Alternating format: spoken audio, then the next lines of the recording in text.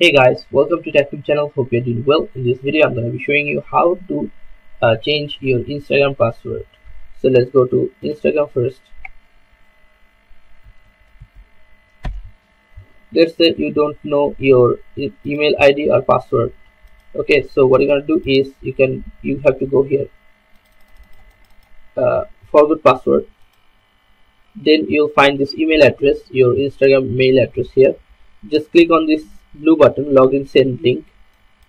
After click on this instagram will send a link or verification message to your email address. So go to this email address specific. Here.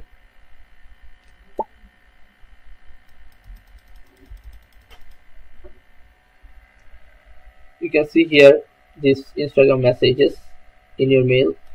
Now all you have to just log in or reset your password. If you click on this reset your password. You can see here you can directly put here your new password and your new password again. Okay so your password will be changed without no knowing current password.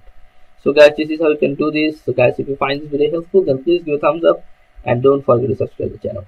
Thank you so much for watching the video